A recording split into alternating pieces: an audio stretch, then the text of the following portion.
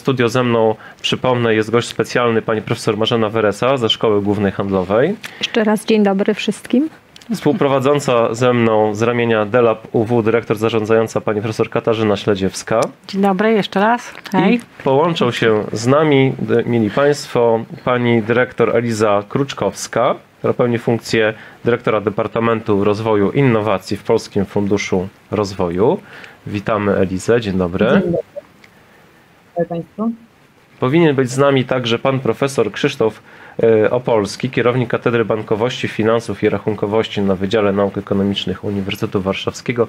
Wiemy, że pan profesor miał przez chwilę pewne trudności techniczne po wystąpieniu, e, którym nas zaszczycił. Jeżeli uda się panu profesorowi dołączyć, to będzie nam niezmiernie miło. I jest z nami również znany już państwu także e, Bartosz Sokoliński, dyrektor Biura Rozwoju Innowacji w Agencji Rozwoju Przemysłu.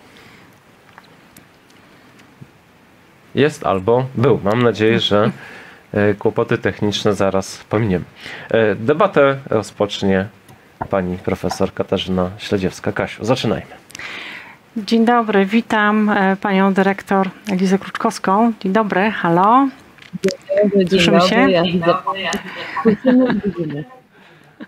Hej. No, chciałabym zacząć naszą rozmowę, naszą debatę od tego, co właściwie można zrobić, by nasze małe i średnie przedsiębiorstwa faktycznie były innowacyjne. No bo z dzisiejszej dyskusji, z dzisiejszych wykładów y, dowiedzieliśmy się, że my nie jesteśmy specjalnie innowacyjni na tle świata. Co tutaj można zrobić i co właściwie jest robione w ramach PFR-u? To jest w ogóle ciekawe, ja już pewnie jak pani, e, jak pani e, profesor e, badająca te małe i średnie przedsiębiorstwa latami, ja też ostatnio wróciłam chyba do naszej pierwszej wspólnej debaty jeszcze w 2015 roku, gdzie właśnie powoływałam się na badania Delabu sprawdzające poziom ucyfrowienia polskiego MŚP. I tam były takie dosyć smutne dane mówiące o tym, że chyba jedna piąta polskich e, małych i średnich przedsiębiorstw e, korzysta z e, mediów społecznościowych. I wykorzystałam tam ten argument do tego, żeby pokazać, że jak te startupy polskie mają się rozwijać, gdy na przykład jest taki startup polski, nazywa się Brandy24, on, to jest takie oprogramowanie, które pozwala nam mierzyć daną markę i jej wzmianki o niej w internecie. E, no i teraz jak taki polski startup ma się rozwijać, e, jeżeli e, ich liczba firm, które może skorzystać z jego rozwiązania jest, wynosi tylko 20% polskiego MŚP. I to jest jakby taka pierwsza przesłanka, która powoduje, że te nasze polskie startupy wolniej rosną i myślą o tych rynkach zagranicznych. To dobrze, że myślą o tych rynkach zagranicznych, ale świetnie by było, jakby mogły sprzedawać e, do polskich e, e, małych i średnich przedsiębiorstw, które rzeczywiście nie czują tej potrzeby. No i teraz co zrobić? No, jak sobie bym miała rozrysować i pewnie nie jeden mądrzejszy ode mnie profesor, który bada, dlaczego firmy mają się stawać innowacyjne, no to na pewno powie dlatego, żeby były bardziej konkurencyjne.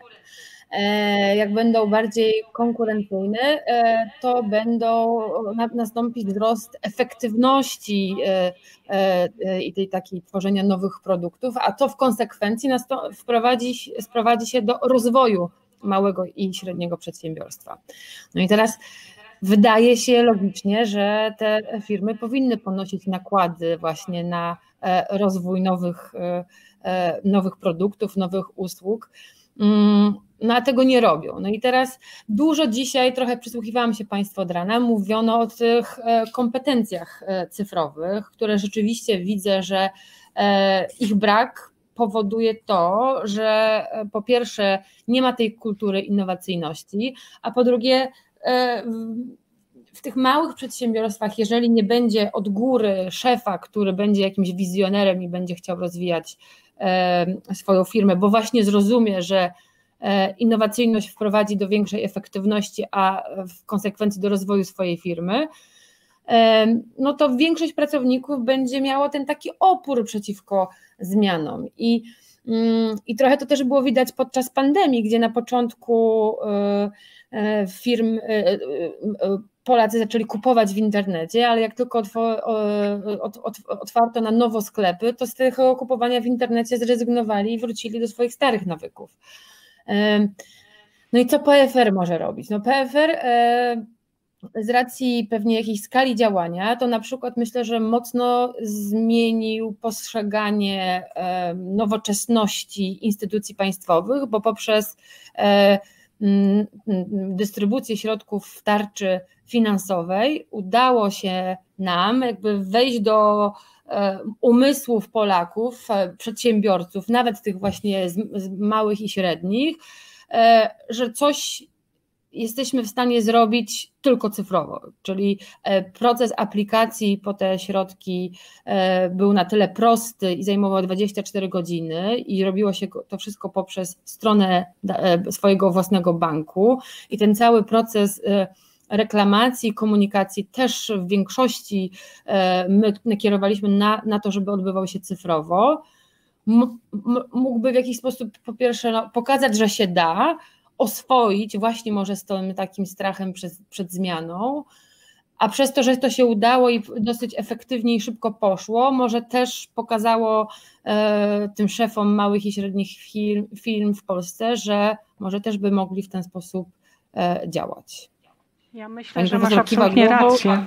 Tak, bo ja w ogóle jestem zachwycona tym, co się zadziało. Mianowicie po raz pierwszy w ten sposób pomoc publiczna została y, dana. To znaczy, tam to, co nastąpiło dla mnie z perspektywy właśnie analizy tych procesów y, transformacji cyfrowej, to było kluczowe.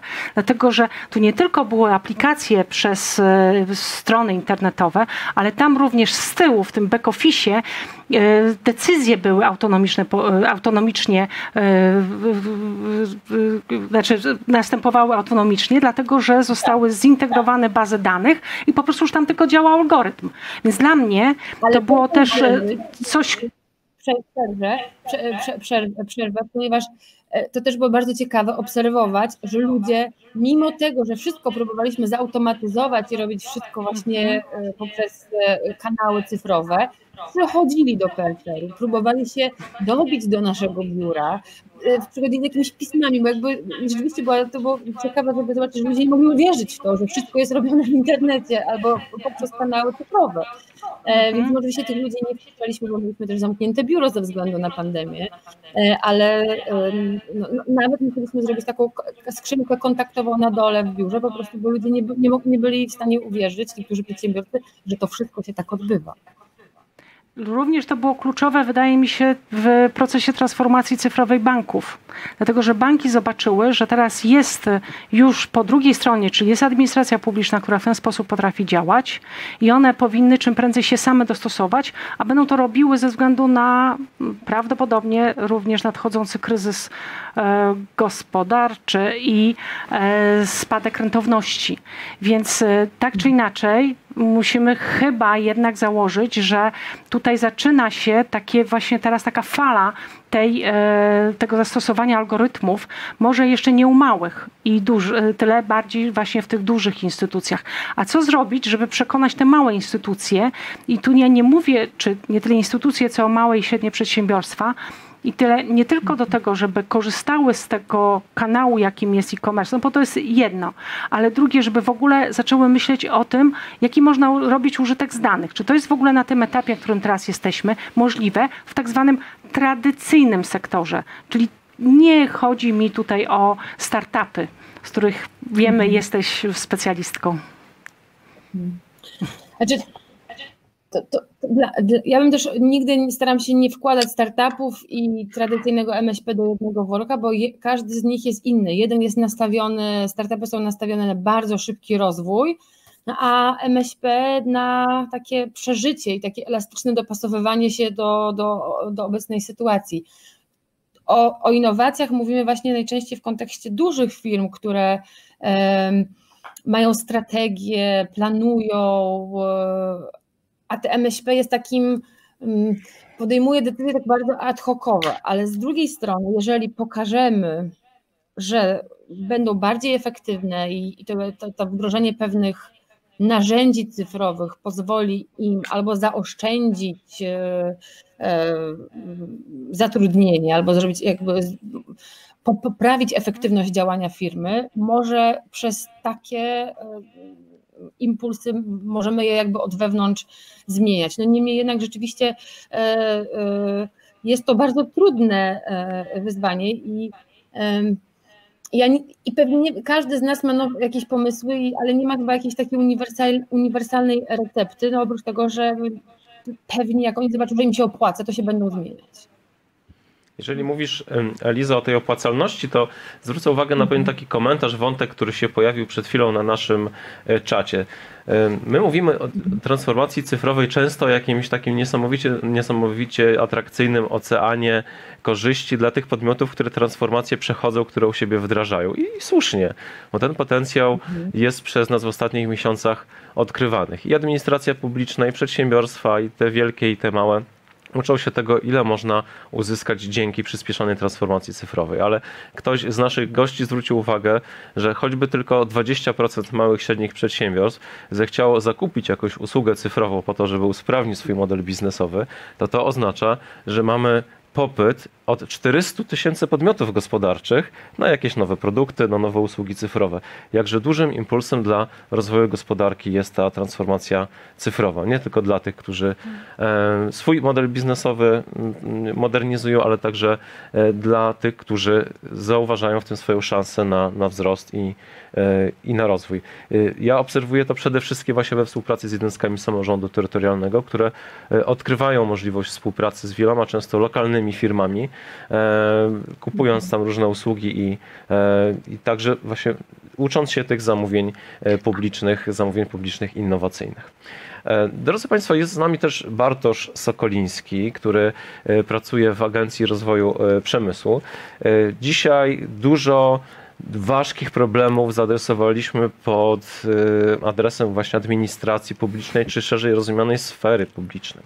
Ty, Bartku, rozpocząłeś swoje dzisiejsze wystąpienie od tego, słuchajcie, mamy w nazwie agencja, ale nie jesteśmy żadną agencją, bo jesteśmy spółką. Co prawda spółką Skarbu Państwa, ale spółką.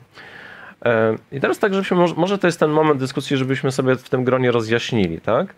E, gdzie, gdzie się kończy e, sektor public, a gdzie się zaczyna private i, i powiedzieli sobie, że dzisiejszą e, politykę innowacyjną tworzy bardzo różnorodny miks instytucjonalny. Tak? Instytucji o bardzo różnym statusie prawnym, o, o bardzo różnych zasadach finansowania. E, zresztą reprezentowana tutaj przez, przez Elizę e, duża grupa, bo przecież nie, nie instytucja, tylko cała grupa tak, Polskiego Funduszu Rozwoju też składa się z parasolowo ze sobą powiązanych e, instytucji o bardzo różnym statusie. Więc kiedy mówimy polityka innowacyjna, w tym nowym sensie to często mówimy o celach, o zadaniach, o metodach realizowanych przez nowe instytucjonalne narzędzia tej polityki, które często są po prostu spółkami. Jak ty, Bartku, widzisz swoją instytucję, Agencję Rozwoju y, Przemysłu, w tych wszystkich problemach, w tych wszystkich dylematach, w tych wszystkich grzechach głównych, y, o których sam nam mówiłeś? Co tego typu instytucje jak twoja mogą realnie wnieść i rozwiązać y, w tej skomplikowanej układance wielu różnych potrzeb i, i problemów w innowacyjności? Dobra, słuchajcie, to ja zacznę Mm, zacznę trochę od tyłu, bo chciałem, oczywiście uważam, że y, to, co mówiła Eliza y, o roli y, PFR-u w tym, w tym pokazaniu, że mm, firmy czy tam instytucje państwowe, czy publiczne są, e, korzystają z narzędzi internetowych. Nasza rola była dokładnie mm, taka sama, bo, bo też w zasadzie te pożyczki, które dawaliśmy covidowe, też szły tylko online'owo, ale myślę, że taką pierwszą instytucją e, tutaj było Ministerstwo Cyfryzacji ze swoim profilem zaufanym, który można było zatwierdzić i to był ten kierunek przez, przez konto bankowe. No i obywatele już znają, tak, znaczy 500 plus się też tylko przez internet można załatwić, kartę dużej rodziny, akurat idę tutaj po tym, co, z czego ja korzystałem, no ale też PIT też można już tylko przez internet, więc ja myślę, że coraz więcej mm, rzeczy jest załatwianych zdalnie, y, a no, my się dołączyliśmy do pewnego y, nurtu. I bardzo dobrze. Ale teraz odpowiadając, Jarku, na Twoje pytanie. Y, faktycznie ARP jest y, spółką i oczywiście jest spółką misyjną, tak jak wspominałem podczas swojej prezentacji. Y, ARP ma, miało za zadanie, ale ma nadal restrukturyzować firmy, ale przy okazji, no oczywiście jesteśmy takim narzędziem, narzędziem finansowo-inwestycyjno-zarządczym dla rządu, tak? No nie, tutaj trzeba, trzeba to powiedzieć. Zarządzamy spółkami, i jeżeli chodzi o innowacje, to jest tak, że nasze spółki są jeszcze przed tym takim e, boomem innowacyjnym, jako że je głównie e, restrukturyzowaliśmy do tej pory, ale chcemy teraz dodać ten pierwiastek innowacyjny, powołaliśmy grupy i pracujemy z nimi, nawet z tymi, które e, gorzej sobie radzą nad tym, żeby wprowadzać innowacyjne produkty albo innowacyjne metody zarządzania.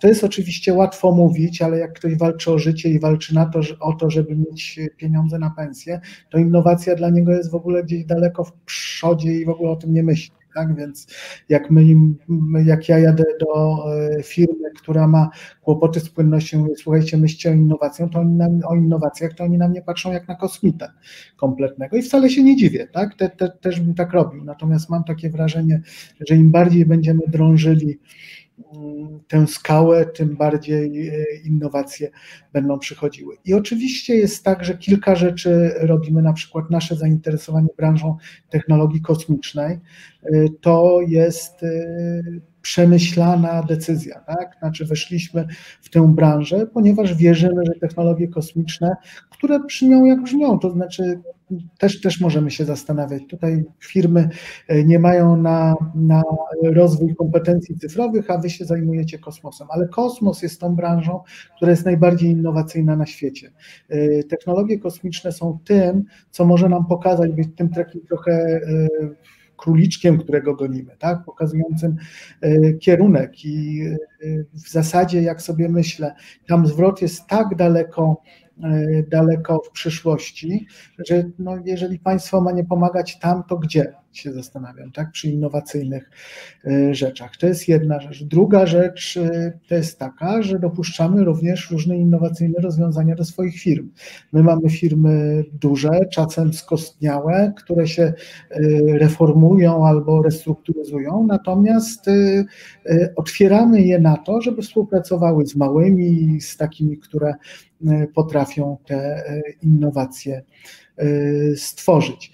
I oczywiście jest tak, że robimy różne inne rzeczy, jak teraz, teraz pewnie, być może słyszeliście, nie wiem, czy na pewno słyszeliście, ale jesteśmy w trakcie procesu zakupowego części, zorganizowanej części przedsiębiorstwa Rafako, które stworzyło swój autobus elektryczny, jako że to nie jest ich core business, a jednocześnie, co nie jest tajemnicą, przeżywają kłopoty, no to my y, odkupujemy od nich i staramy się z tego zrobić produkcję. Mamy doświadczenia y, produkcyjne, mamy ludzi, którzy się tym zajmują.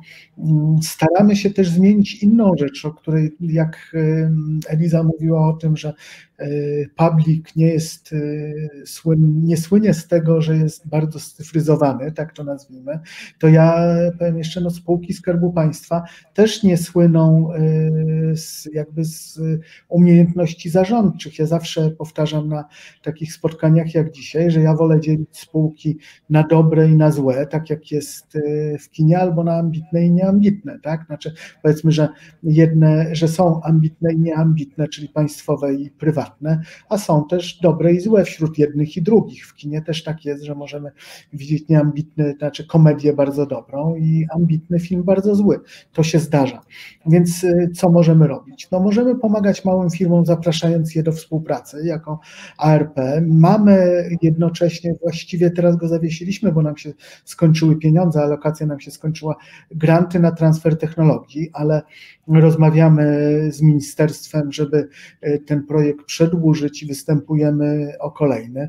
Mamy nadzieję, że będziemy mieli kolejne środki. Bardzo zachęcamy firmy, żeby brały od nas pożyczki na innowacje. To nie jest popularne narzędzie, bo lepiej wziąć grant, tak jak już mówiłem podczas swojej prezentacji dla wszystkich, ale my wierzymy, że pożyczka jest produktem biznesowym. To znaczy, jak się weźmie pożyczkę, to trzeba myśleć o tym, że produkt będzie potem opłacalny. Nie wiem, czy Jarku odpowiedziałem na Twoje pytanie. A jakie są największe bariery tak naprawdę w tych, e, jeżeli możesz o tym mówić w ogóle w tych e, spółkach Skarbu Państwa? E, chodzi Ci o bariery przy innowacyjności, przy pracy przy tak, innowacyjności? Tak, w tym całym procesie, tak.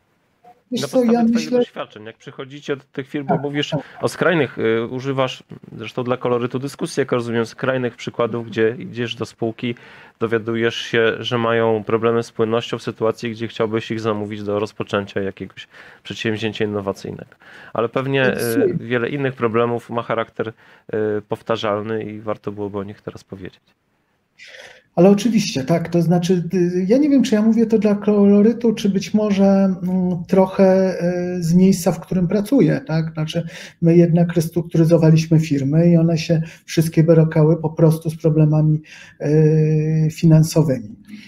Jeżeli chodzi o spółki Skarbu Państwa, to już mamy coraz więcej przykładów, że mogą być, no nie wiem, na przykład przewozy regionalne są takim przykładem, że mogą być dobrze i rozsądnie e, zarządzane, chociaż to jest wielki moloch zatrudniający kilkadziesiąt tysięcy ludzi. Mamy też przykład, e, przykład e, FPS-u, czyli tak zwanego małego cegielskiego, który odziedziczyliśmy z wielkimi problemami finansowymi, a w tej chwili wychodzi na prostą, wykazuje zysk i prowadzi produkcję i i, i renowację wagonów kolejowych, y, startując jak równy z równym y, w przetargach z większymi firmami. Y, gdy patrzymy sobie na i gdy ja patrzę na spółki Skarbu Państwa, to ja myślę, że mamy, ja bym to ocenił tak, bo często o tym mówię, jak mówię o ORP, że my mamy y, wszelkie wyzwania stojące przed korporacjami, tak? czyli, mm, czyli procedury, obieg dokumentów, a jednocześnie mamy różne narzuty administracyjne, to znaczy właśnie tak, że y, podlegamy ministerstwu, że realizujemy pewne misje, że y, u nas nie da się mm, znaczy staramy się być bardzo fair y, wobec y, pracowników i nie da się y, na przykład zatrudnić kogoś na umowę o dzieło dłużej. To mówię akurat, bo to jest uelastycznienie, tak, my nie jesteśmy specjalnie elastyczni. To są pewnie wszystko wyzwania. Mm, natomiast y, ja widzę, że już coraz więcej, tak jak, jak sobie powołaliśmy taką grupę do agendy badawczej w naszych firmach, to już widzę, że y, coraz więcej osób chce rozmawiać, coraz więcej osób y, bierze udział w naszych spotkaniach. To, co na pewno jest ważne, to jest to, co powiedziała Eliza, to znaczy, to jest jakiś tam kierunek pokazany odgórnie i dużo łatwiej mi rozmawiać z naszymi spółkami, gdy idę i mówię, słuchajcie, no nie ma siły, prezes powiedział, mamy robić e, e, innowacje i wy musicie się do tego dostosować, jakby to głupio nie brzmiało. Bartoszu, bardzo Ci dziękuję, bo częściowo przynajmniej odpowiedziałeś na e, dwa zagadnienia poruszone wcześniej przez Kasię Śledziewską w ramach podsumowania Twojej prelekcji. Kasia powiedziała, dużo tych grzechów, znajdźmy jakieś cnoty. E, I ty przed chwilą powiedziałeś tak, chcę, y, mamy coraz więcej partnerów, którzy chcą z nami rozmawiać, więc tworzy się dobra przestrzeń do współpracy, przynajmniej do dialogu. To jest już pierwsza jakaś taka cnota, której się dorobiliśmy, jak rozumiem. E, I, I, druga, e, kształtuje się jakiś odgórny kierunek, jest generalny trend na innowacyjność i coraz rzadziej chyba trzeba tłumaczyć, po co i komu ta innowacyjność jest potrzebna. I może trochę idealizuję, ale mam wrażenie, że zaczynamy trochę odposągować tą innowacyjność, która się stała takim złotym cielcem, jakimś takim niesamowicie skomplikowanym, kompleksowym zjawiskiem. E, mamy taki mit, tak, społeczny mit tej innowacyjności, a nagle się okazuje, że tą innowacyjność to się po prostu robi e, w zakasanych e, rękawach, że trzeba zdjąć krawaty i, i po prostu zacząć ją robić, a nie tylko ciągle o niej gadać. Więc to chyba jest jakaś taka kolejna kształtująca się cnota, że my już wszyscy sobie przyswoiliśmy ten kierunek na innowacyjność. Wywołując raz jeszcze to pytanie Kasi, czy, czy ty widzisz jakieś inne nasze cnoty, czy na poziomie cech narodowych, czy po prostu tych zrębów systemu, który działa u nas, systemu wsparcia innowacyjności, które można by było takimi naszymi cnotami nazwać, na czym tą politykę innowacyjną byśmy potencjalnie zbudowali.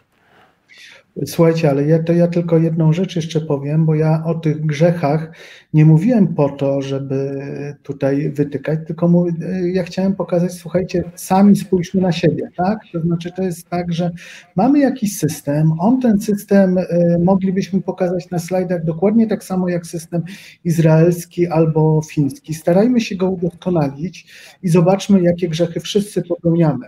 Y, jak każdy z nas niech się mm, trochę, trochę zacznie bić w piersi. Zmieniajmy krok po kroku, a nie zrzucajmy, tak jak ja próbowałem pokazać, znaczy nauka na biznes, biznes na administrację, administracja na tych i na tych i tak dalej, i tak dalej. Ja myślę, że tych cnót jest dużo. I było dużo, tak? No zawsze się powtarzało mm, to, że tam jak polski inżynier wyjedzie za granicę, to nagle robi karierę, a w Polsce mm, nie potrafi. Więc bym powiedział, że y, inżynierowie są y, pewnie i jakaś nauka y, jest tutaj, wykształcenie polskich naukowców jest, jest pozytywne. Z drugiej strony, jak się spojrzy na listę szanghajską, oczywiście jesteśmy daleko w tyle, tak? To znaczy to, że największy skok w Polsce wykonał Uniwersytet Warszawski dzięki Noblowi, no to trzeba się bardzo cieszyć, tak, że o 100 miejsc skoczyliśmy, natomiast umówmy się, lepiej by było, żeby w pierwszej setce mieć jeden, dwie, trzy uczelnie. No może przesadzam oczywiście, yy, ale no nie, Szwajcaria ma pięć, tak? Jakbyśmy mieli jeden, to byśmy byli yy, bardzo zadowoleni, a za tym też yy, idą, idą innowacje. Ale rozumiem, że nad tym wszystkim pracujemy. Ja doceniam też pracę na przykład NCBR-u, na który można mówić różne rzeczy, ale jest tam tak dużo programów, tak dużo pieniędzy, że no, ten, kto się nie myli się, tylko ten, kto nic nie robi, więc tutaj też bardzo doceniam tę pracę. Doceniam też to, co robi PFR i stworzenie całej grupy VC, tak, znaczy jak sobie popatrzymy na to, ile było firm VC y, przed powołaniem PFR-u i po powołaniu, y, no dużo, dużo więcej. Oczywiście to wszystko nie działa, tak samo jak w Warpie też niektóre rzeczy nie działają, tak jakbyśmy sobie wymarzyli, tak jak marzyliśmy o tym y, kilka lat temu, ale mam taką nadzieję, że tak, tak, tak naprawdę to ja uważam, że rozmowa i zaufanie to są takie dwie rzeczy, które jakbyśmy zmienili, to by było e, dużo lepiej. I to, to, to pójdzie. No, głęboko wierzę, że e, pójdzie do przodu i że będziemy, chyba nie już powiedziałem, nie znalazłem tych cnót zbyt dużo, mm, ale e, jak Eliza będzie opowiadała, to ja będę myślał. Bardzo dziękuję Bartoszu. Wręczyłeś mnie e, w zaproszeniu Elizy do odpowiedzi na, na podobne e, pytanie. Różnie można te cnoty rozumieć. W taki chyba najprostszy techniczny sposób to są jakieś dobre praktyki. Zwróćcie, zwróćcie uwagę, że jak Paweł Kasprowicz w wcześniejszej e, sesji mówił o projekcie Next Step Poland, to przytaczał dobre praktyki do wdrożenia w Polsce wywodzące się z krajów skandynawskich. Nie brakuje takiej analizy, może ktoś by się pokusił o nasze własne, polskie dobre praktyki, które na przykład z poziomu regionalnego można by było przeszczepić na poziom centralny, tak? Albo gdzieś są, ale może nie zostały e, upowszechnione. E, Elizo, czy, czy, czy ty do tej listy cnót albo dobrych praktyk e, dodałabyś ze swojej praktyki zawodowej jakiś element? W ogóle ja się wyrywałam do odpowiedzi, mam też rzeczywiście taką tendencję do tysiąc myśli przeszło, przeszło więc po kolei. E, super, że w ogóle ktoś się pochwalił tym projektem Next Step Poland, bo rzeczywiście e, pamiętam, że znaczy to ja go wymyśliłam i chodziłam prosząc zróbmy to, e, bo wiedziałam, że to taką mam jedną refleksję, mm, że są dwie, dwa rodzaje strategii wprowadzenia tych zmian. Ja jestem fanką podchodzenia, wywracania stolika i układania rzeczy na nowo, ale wiem, że pewnie w takich instytucjach e, e, takich rzeczy nie można zrobić i trzeba e, tak, to robi, robić to, co robi Bartek i ja, czyli wziąć młoteczek, podejść do skały i o powoli drążyć, drążyć, drążyć i sobie budować dookoła grupę ludzi, którzy tak samo jak my wierzy w tą zmianę, wierzy, że unowocześnianie pewnych procesów spowoduje, że będzie nam się wszystkim lepiej pracowało, a jako organizacje, które są stworzone po to, żeby wspierać rozwój innych przedsiębiorstw, pomożemy też pokazując to tym, że my efektywnie działamy, pokażemy też innym, że oni też mogą w ten sposób działać ale nie ukrywam, że nawet w naszych instytucjach publicznych, jak ruszaliśmy z projektem Next Step Poland, który polegał na tym, że rzeczywiście po pierwsze robiliśmy projekt, e, gdzie kilka instytucji ze sobą współpracowało, a taka silosowość i jest dosyć taką popularną e, i konkurencja e, między e, instytucjami była bardzo popularną strategią zarządzania, a, a to, że my teraz próbujemy, że my się razem nauczymy, że wy się wyspecjalizujecie w czymś, my w czymś, wy, wy w czymś innym, to, to, to, to jest nowe myślenie i to rzeczywiście to wprowadził Paweł Borys, integrując całą grupę, grupę PFR.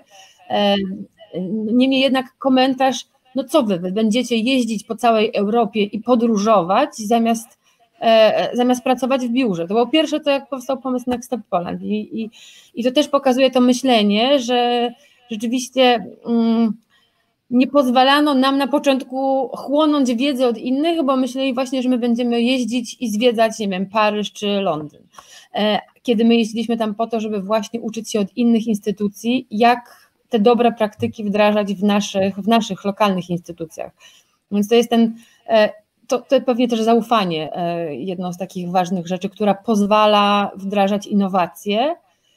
No i nawet jeżeli by się coś nie udało, i kolejna rzecz, która myślę jest bardzo ważna, to jest trochę wyświechtany e, przykład, ale tego, że musimy nauczyć się i pozwalać sobie na coś, że coś się nie uda, czyli na tą, tą przysłowiową porażkę, która jest wpisana w, ten, w DNA innowatora bo w tych dużych instytucjach jak nasza też chyba na e, ludzie trochę boją się brać odpowiedzialności właśnie przez to, że my jesteśmy A na świeczniku, B non-stop e, kontrolowani przez przeróżne instytucje, które też nie mają wysokich kompetencji cyfrowych, więc czasami łatwiej jest im wejść i przejrzeć segregator z papierami, bo robili tak przez ostatnie 30 lat.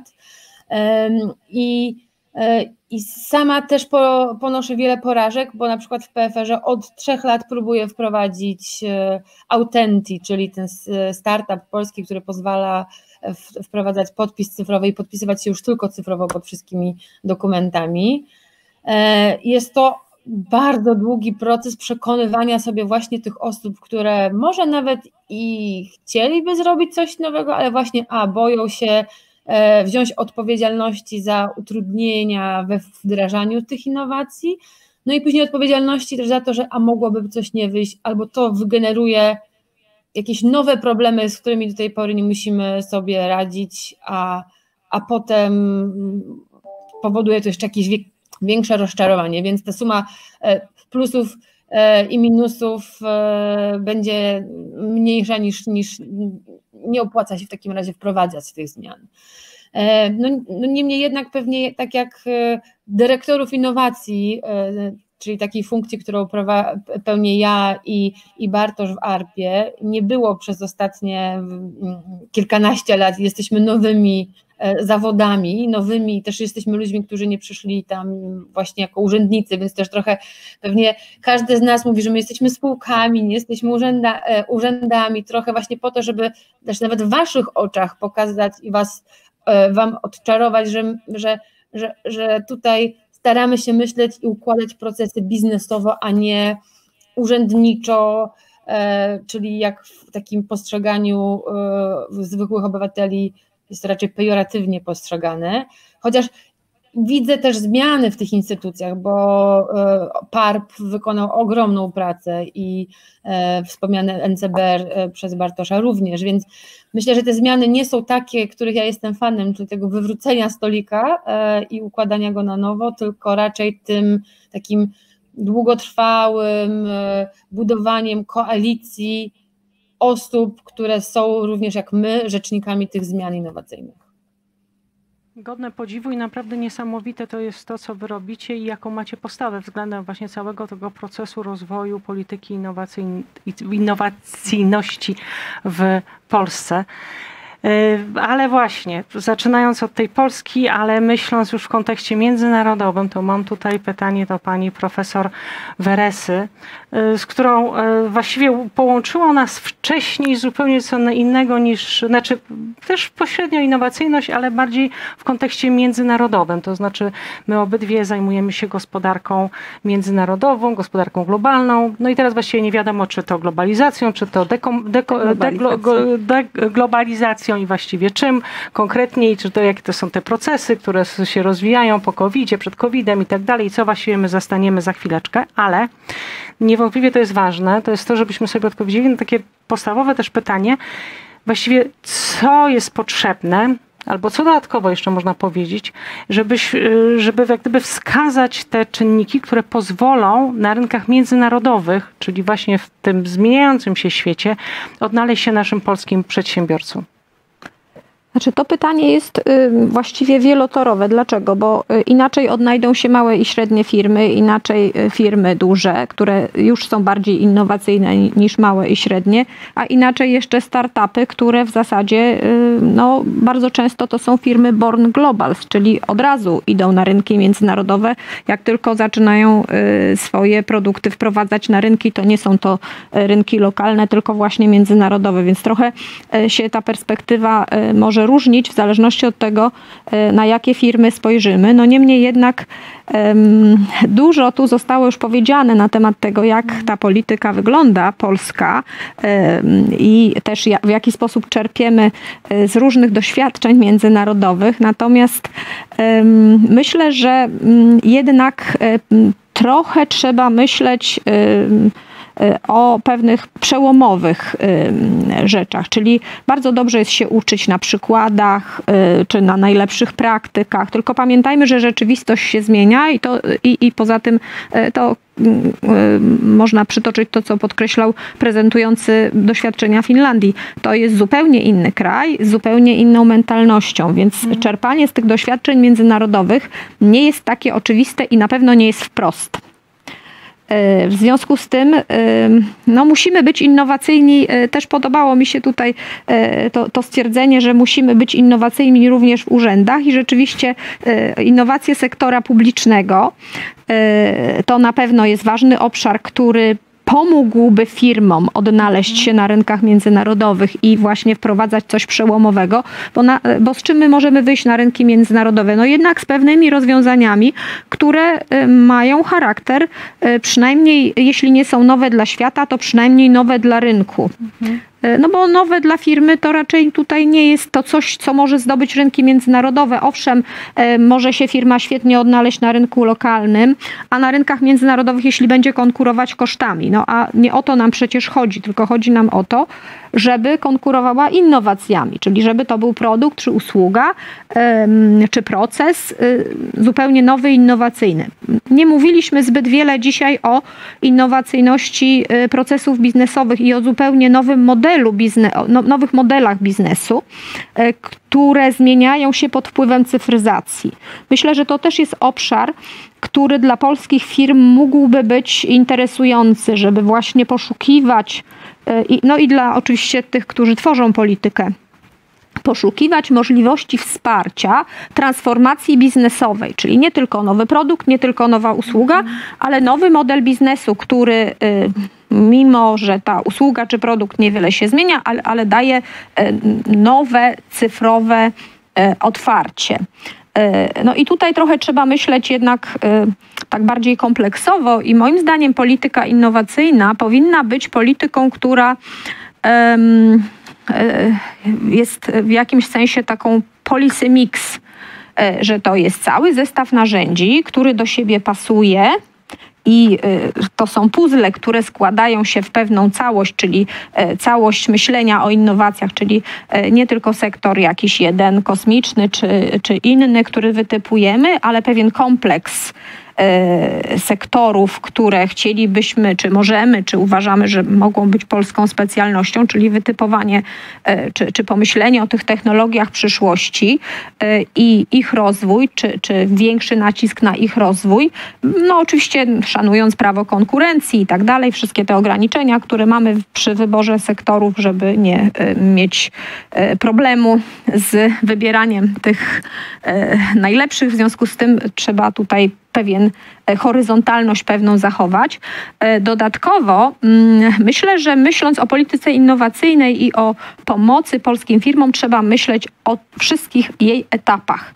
Czyli nie tylko narzędzia, czy nie tylko cele, że powiedzmy, że to będą szerokie cele społeczne, e, czy środowiskowe i tak dalej, to o czym się teraz mówi, te social development goals, ale dobrze zdefiniować cele, potem dopasować do tego narzędzia, ale potem jeszcze zrobić, e, e, spojrzeć na to, jak jest zarządzana ta polityka innowacyjna i jej wdrażanie.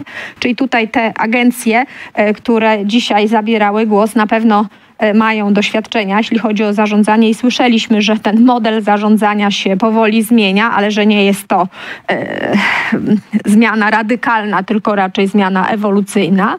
Więc jest pytanie, no pewnie nie da się radykalnie wszystkiego, ale e, jest pytanie e, o te elementy pewnych innowacji przełomowych, także w zarządzaniu innowacyjnością. I wreszcie ostatni element tego łańcucha polityki innowacyjnej ewaluacja, czyli nowe metody ewaluacji, sprawdzenie, co, które narzędzia rzeczywiście przyniosły konkretne efekty, no ale też pewna kontynuacja, bo w jaki sposób wspierają innowacje te kraje wiodące, właśnie czy Szwecja, czy Finlandia? No tam te narzędzia, owszem, one się zmieniają, ale generalnie jest linia myślenia podobna ciągle przez te lata. 20 lat, 30 lat, y, bo po prostu firmy też muszą wiedzieć, że mają pewną y, sytuację, muszą mieć pewną przewidywalną sytuację wsparcia, a nie, że dzisiaj to zastanawiamy się nad jakimś jednym narzędziem, następnie przeskakujemy na zupełnie inne e, i właściwie nie mamy tej dłuższej perspektywy oceny, bo nawet nie jesteśmy w stanie zebrać danych e, długofalowych, żeby coś sprawdzić, czy, czy to narzędzie się sprawdziło, czy nie, tylko po krótkim okresie już stwierdzamy, nie, nie sprawdza się. Więc tu wydaje mi się, że też jest przestrzeń do tego, żeby myśleć o pewnym E, jakby całokształcie tych działań, że, że, że łączmy te wszystkie elementy ze sobą. E, projektowanie, e, myślenie o celach, ich wytypowanie, określenie tych misji, celów dla całego kraju, dla regionów wreszcie, czy dla nawet lokalnych jakichś społeczności. Następnie zaprojektujmy dobre narzędzia, ale następnie też zarządzajmy tymi narzędziami. Ja miałam okazję jakiś czas temu robić, realizować projekt unijny zresztą, który dotyczył oceny Innovation Union E, no, finansowany z horyzontu właśnie się niedawno zakończył. E, no i ta Unia Innowacji, do której Unia Europejska zmierza i miała właśnie europejskie firmy promować, czyli polskie również promować e, i budować ten związek innowacyjności, no, okazało się, że nie do końca się jeszcze zmaterializowała, że, że są to wielkie hasła, ale y, taki przegląd, no myśmy oczywiście nie zrobili tego w roku 2020, czyli dzisiaj, tylko kilka lat temu, więc na pewno jeszcze cały okres y, y, działania tej Unii Innowacji nie minął, ale okazało się, że w wielu obszarach niestety bardzo dużo jest do zrobienia, że wcale nie mamy patentu europejskiego wspólnego na przykład, hmm. że jest szereg niedociągnięć również na poziomie europejskim, no, co hamuje innowacyjność, bo, bo, bo y, no, badania GUS mówią, dlaczego polskie firmy nie są innowacyjne. E, no bo nie mają środków finansowych, to bariera numer jeden, ale też nie mają kompetencji, o których też była dzisiaj mowa. E, więc y, narzędzia, które dają z jednej strony pieniądze, ale też dają kompetencje, no i infrastrukturę bo możemy się cyfryzować, ale jak nie mamy serwerów, nie mamy komputerów, nie mamy e, odpowiednio wydajnych, nie mamy umiejętności, no to, y, to pozostaje na poziomie y, takiej dyskusji, że chcielibyśmy, natomiast no, nie mamy narzędzi, nie mamy możliwości. Plus no, wszystkie prawne instrumenty instytucjonalne, o których dzisiaj mówiłam też i, i też one przewijały się we wszystkich prezentacjach, że jednak te instytucje dla innowacyjności, czyli prawo, y, jego jakość, y, regulacje, nowe regulacje, regulacje obszarów, które są związane z cyfryzacją, a które nie są doregulowane, y, czyli na przykład cyberbezpieczeństwo, no to są takie elementy układanki i tutaj firmy no, chcą mieć pewność, że jednak no, nie narażą się na porażkę, że, że, że nie okaże się, że samo zaufanie, że to jest świetny produkt i tak dalej, wezmą pożyczkę, a potem się okaże, że mają e, właśnie takie problemy natury e, biurokratycznej na przykład i, i nie mogą ich e, przewalczyć. Więc, więc wydaje mi się, że cały kompleks, że potrzebny tu jest cały kompleks działań żeby poprawić innowacyjność polskich firm. No i druga ważna rzecz to jest współpraca współpraca na różnych poziomach i też była e, mowa o tej współpracy. E, współpraca między firmami działalności innowacyjnej, ale też współpraca nauka-biznes i współpraca międzynarodowa, czyli otwarta nauka, otwarte innowacje e, i współpraca.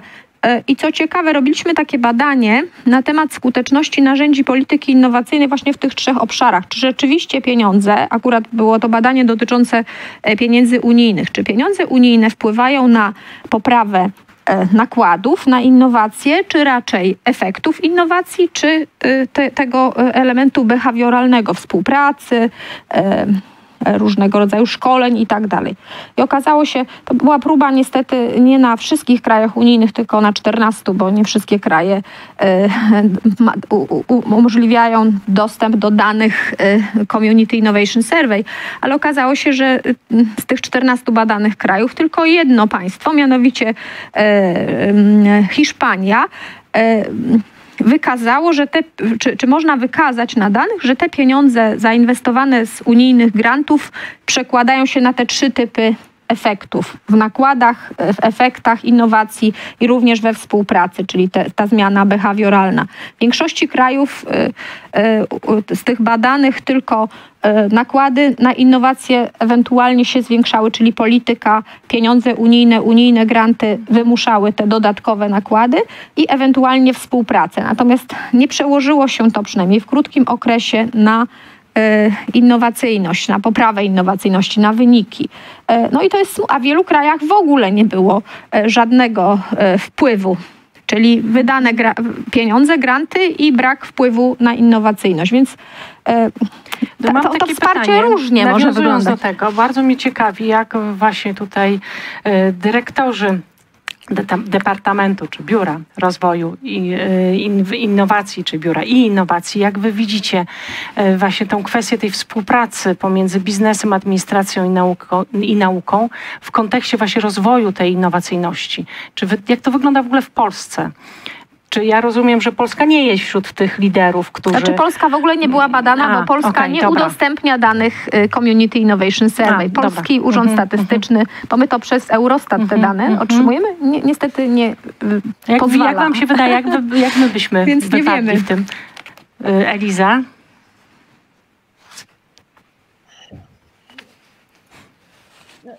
Jest?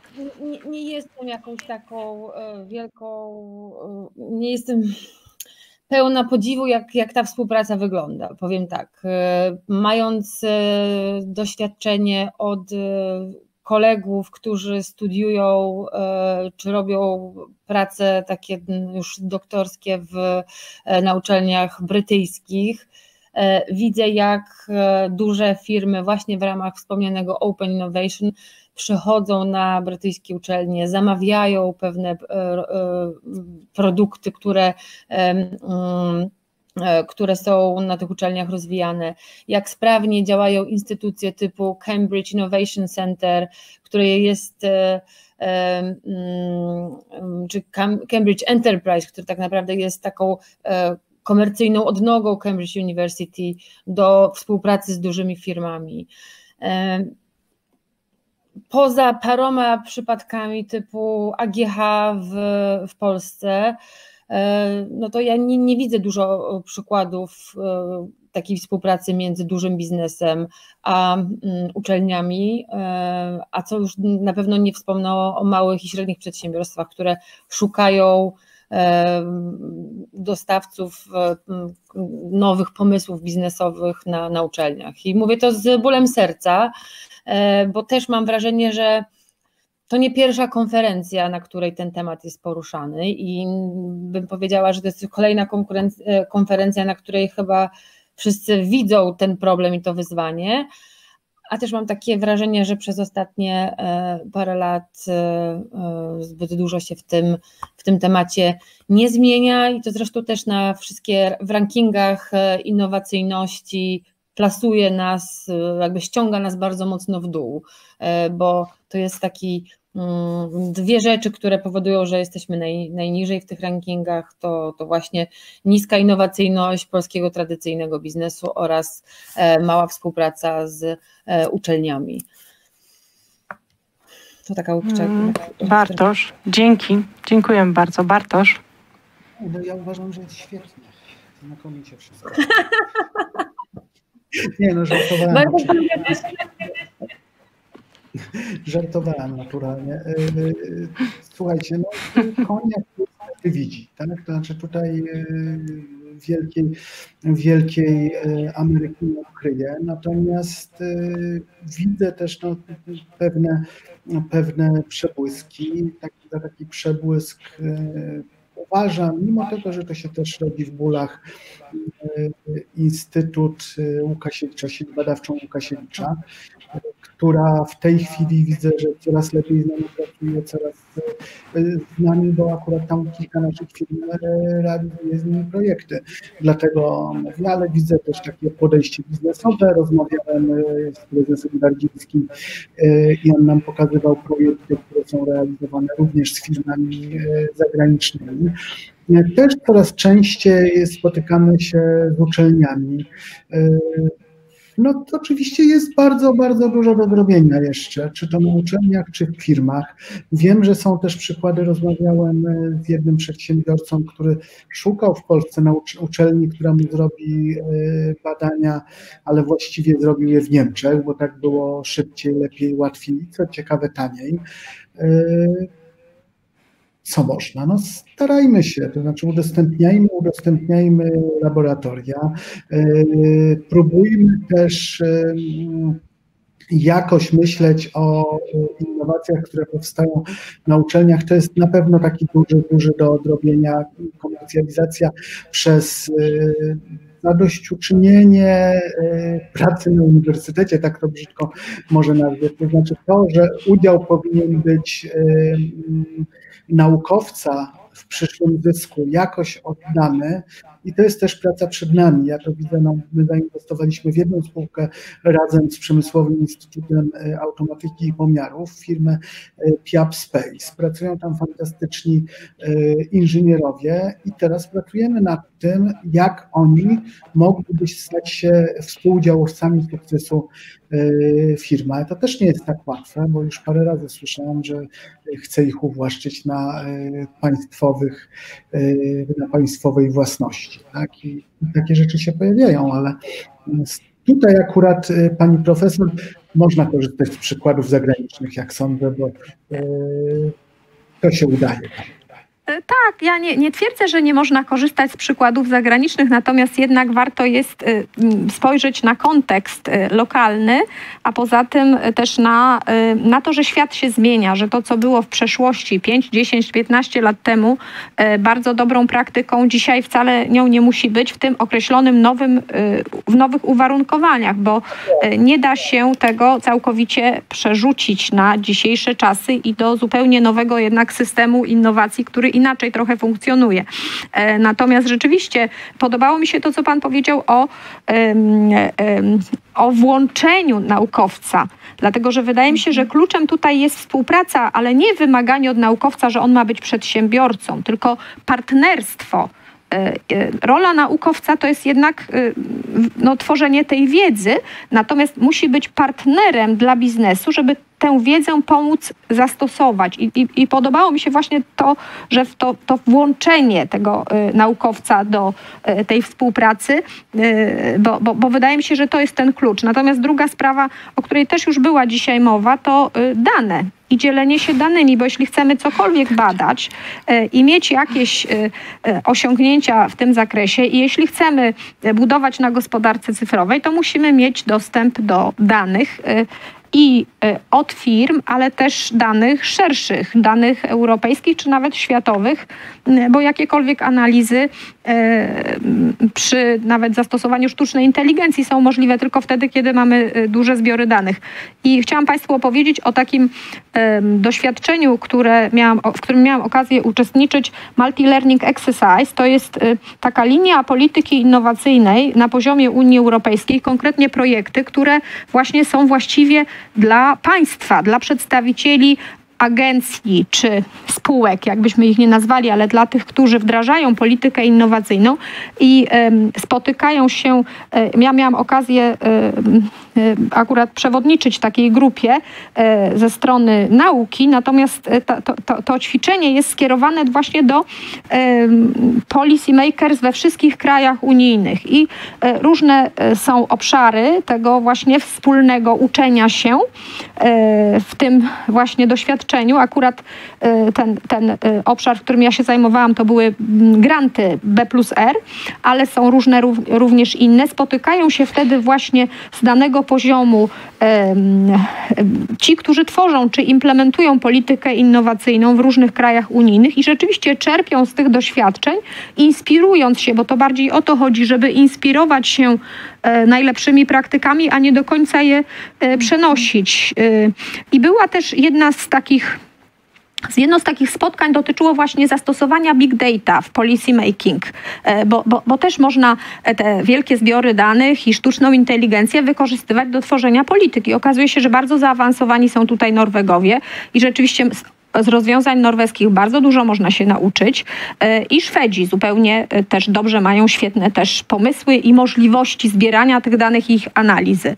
No w Polsce niestety nie jest to jeszcze na szerszą skalę możliwe. Te systemy danych nie są ze sobą zintegrowane, więc trudno jest nawet na tych dużych danych operować, żeby jakieś wnioski wyciągać e, co do barier innowacyjności, tak jak w przypadku tworzenia polityki czy różnego typu funkcjonowania różnych narzędzi i tak dalej.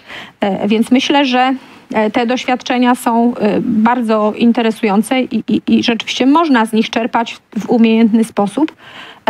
Też odwołując się do tego, co pani mówiła o, o przykładzie brytyjskim, uważam, że um, przykład brytyjski jest, jeśli chodzi o politykę innowacyjną, bardzo dobrym przykładem, bo tam są nowe eksperymentalne narzędzia wdrażane polityki.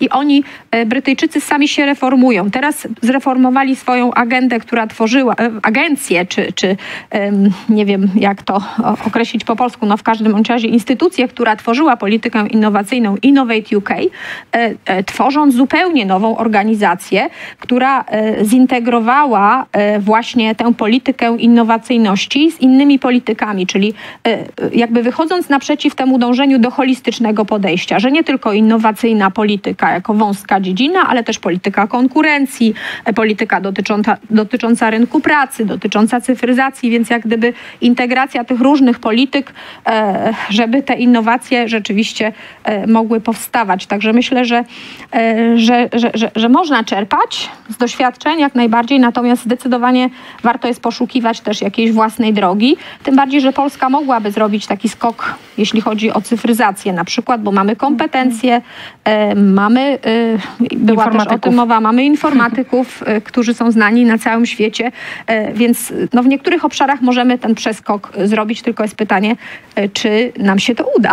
Ja widzę właśnie, że jest taki potencjał, jeżeli chodzi o dane, to znaczy właśnie to jest coś jest nowego, dopiero się zaczyna, tak powiem, te innowacje zaczynają być wdrażane i to jest taki czas, żeby o tym poważnie pomyśleć. I tutaj jest ten obszar współpracy pomiędzy właśnie uczelniami a biznesem i administracją, czyli inaczej ta wspólna praca i rozwój tych różnych rozwiązań w oparciu o dane, tyle że te dane nie takie makro, nie te ogólne, tylko naprawdę bardzo, bardzo jednostkowe i no, tu żeśmy, tu, że tak powiem, wrócę tak, do tego, tak. znowu do tego tematu, że y, w, nam naukowcom najczęściej brakuje tych danych do, na, do analiz, do eksperymentowania z jakimiś właśnie algorytmami, z rozwiązaniami nowymi, a jednocześnie wydaje się, że tutaj nie ma tego powiązania pomiędzy właśnie administracją i biznesem, a nauką w Polsce, a można by było jakby tutaj nad tym popracować. Jak myślicie, czy, czy się zgadzacie ze mną, czy też może to jest jakaś utopia? Eliza, dyrektor Kluczkowska. Mhm. Na początek.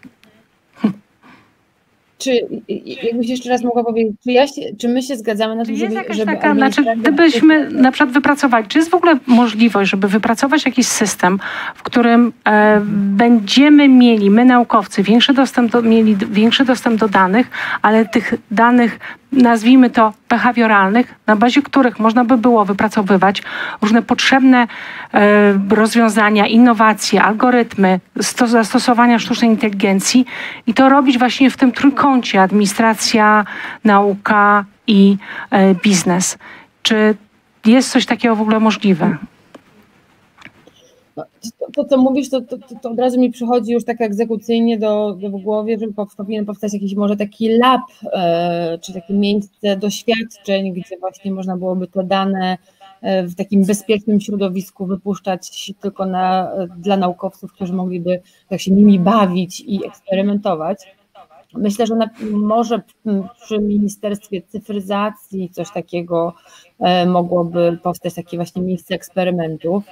E, ale to, to co mówił e, Bartosz o sieci Łukasiewicza, e, teraz ten nowy twór, chyba mi wydaje, że jest 18 instytutów badawczych, które z dużą otwartością pod kierownictwem byłego wiceministra nauki i szkolnictwa wyższego Piotra Darcińskiego jest kierowane. Myślę, że to też może być potencjalne dobre miejsce do tego, żeby takie laboratorium stworzyć bo absolutnie się zgadzam e, z moją przedmówczynią, że to, to, czego trochę nam brakuje, to tej takiej interdyscyplinarności, że e, e, łączyć te umiejętności naukowe z umiejętnościami sprzedażowymi, biznesowymi. Mamy taki program edukacyjny, który robimy w PFR-ze, nazywamy to Szkołą Pionierów dla wizjonerów technologicznych. I Mm, tam podzieliliśmy grupę, tam zawsze raz do roku jest 50 stypendystów i mamy zawsze 20, e, między 20 a 30% e, właśnie jakichś inżynierów i programistów e, oraz naukowców. Drugą grupą to są właśnie najczęściej absolwenci tych kierunków ekonomicznych, dużo studentów PSGH-u, którzy wiedzą jak sprzedawać.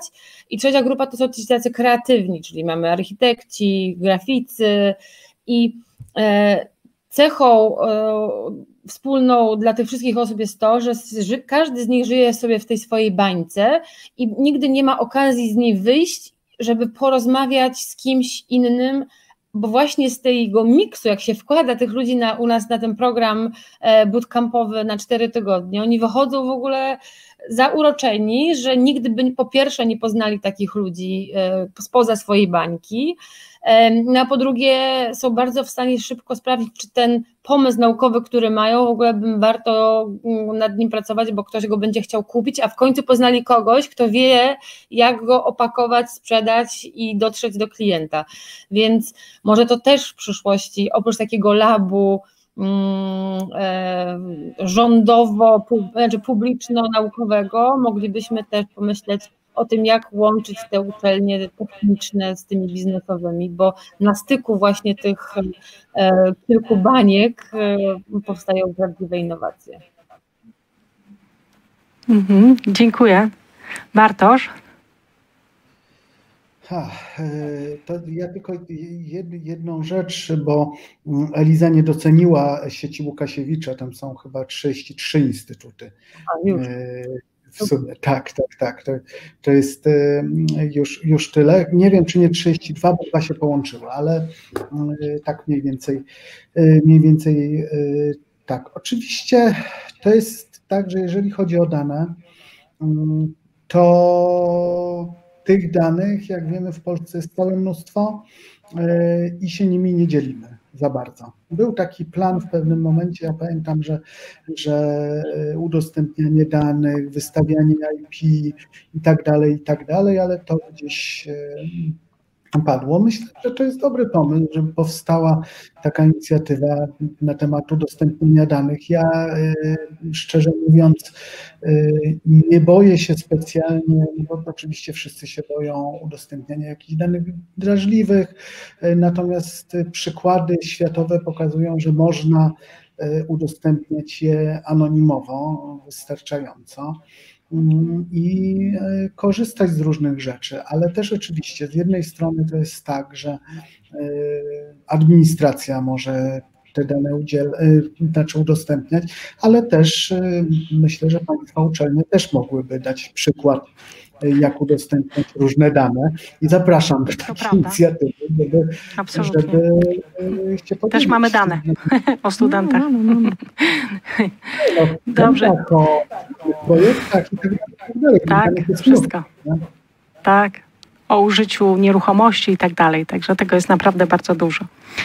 Y, może będziemy zbliżać się właściwie, już zbliżamy się ku końcowi, także przede wszystkim bardzo, bardzo chciałam podziękować e, za udział wszystkim, a w szczególności teraz w tej dyskusji panelowej chciałam podziękować pani dyrektor Elizie Kruczkowskiej, e, dyrektor e, Departamentu Rozwoju Innowacji w PFR-ze, pani profesor Barzenie Weresie, dyrektor Instytutu Gospodarki Światowej w SGH i e, dyrektorowi e, Bartoszowi Sokolińskiemu, dyrektorowi Biura Rozwoju i Innowacji w ARP.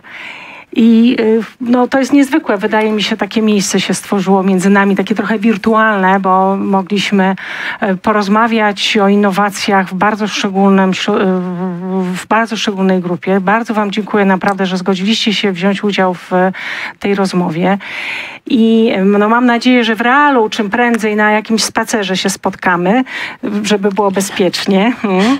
A ja ze swojej strony chciałam jeszcze dodać, bo trochę mało mówiliśmy może o tym, że y, a było to powiedziane na początku dzisiejszej y, konferencji, mianowicie o tym, że bardzo ważne jest to, żeby się zmieniały uczelnie, żeby zaczęły też y, inaczej edukować i inaczej prowadzić zajęcia i również zmieniły przedmiot y, tych swoich zajęć, żeby dostosowywały się do zmieniającego się rynku pracy i odpowiedziały tym wszystkim wyzwaniom związanym z transformacją cyfrową.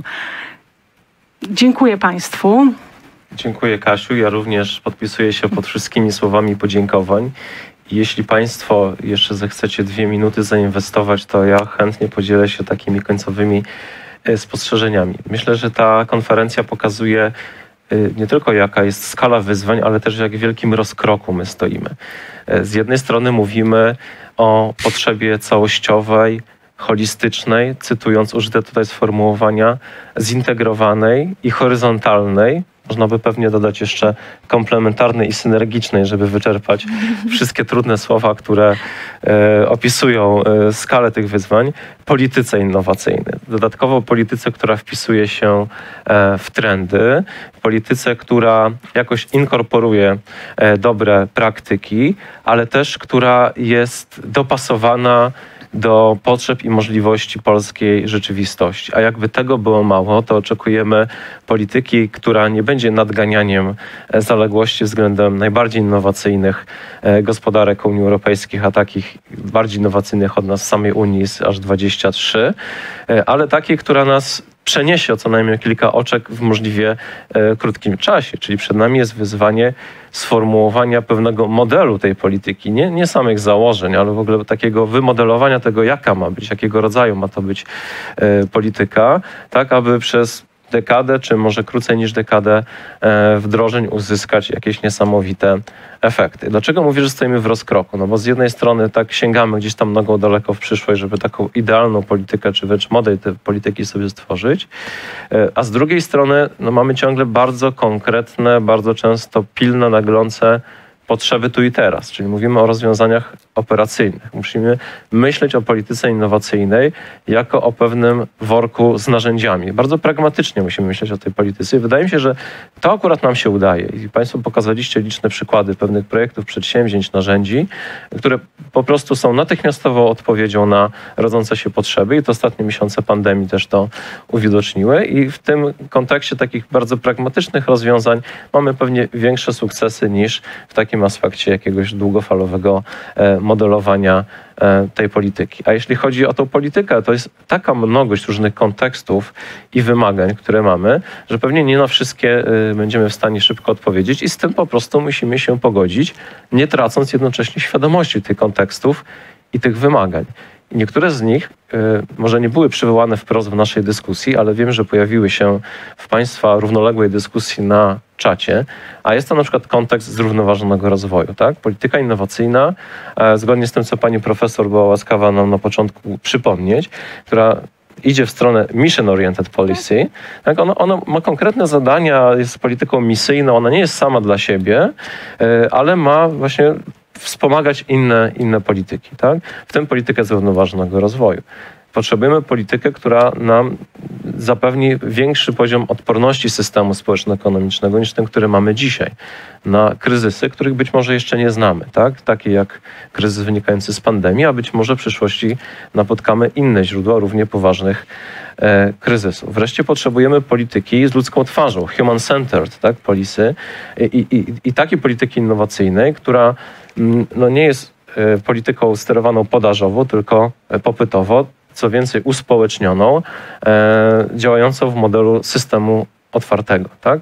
czyli rozwiązań innowacyjnych, które są szybką odpowiedzią na potrzeby społeczne, ale także które w takich właśnie od systemach otwartej nauki, otwartych danych, tak, zaangażowania partnerów społecznych, te rozwiązania innowacyjne są, są generowane.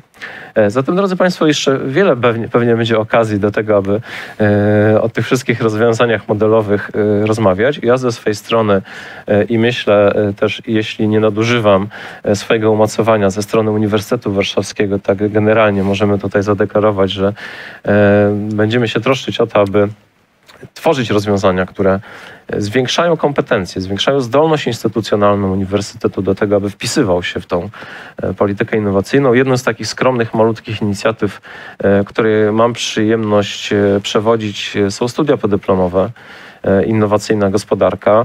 Zachęcam Państwa do zaglądania na e, stronę e, internetową konferencji. Tam zamieścimy po naszym spotkaniu prezentacje udostępnione przez panelistów. Będziecie mieli Państwo także dostęp do nagrań naszych dzisiejszych obrad, jak również do takiej książki z, ze streszczeniami dzisiejszych wystąpień. Ponieważ nasz gość, pan dyrektor Bartosz Sokoliński, prosił o głos to ten przywilej ostatniego głosu podczas dzisiejszego spotkania oddaję Bartoszowi. Bartoszu, bardzo proszę. Dziadku, dziękuję bardzo. Ja chciałem bardzo podziękować za e, dzisiejsze, dzisiejsze spotkanie i chciałbym po raz ostatni skorzystać ze swojego grzechu pychy e, i powiedzieć, że e, moje stanowisko się nie tak dawno zmieniło i teraz jestem dyrektorem zarządzającym do spraw technologii i innowacji. To tylko tak na przyszłość. Dziękuję i przepraszam. Gratulujemy, e, cieszymy się bardzo. Dziękuję raz jeszcze wszystkim Państwu, Pani Dyrektor Elizie, Pani Profesor Marzenie Weresie, Pani Profesor Śledziewskiej. Drodzy Państwo, ta konferencja nie miałaby sensu, gdyby nie liczna obecność Państwa po drugiej stronie kamery. Za to w sposób szczególny e, dziękuję za Państwa cierpliwość, za wszystkie głosy i pytania, których Państwo udzieliliście. Nie żegnamy się, tylko mówimy do zobaczenia. Dziękujemy. Dziękujemy. Do widzenia. Hej.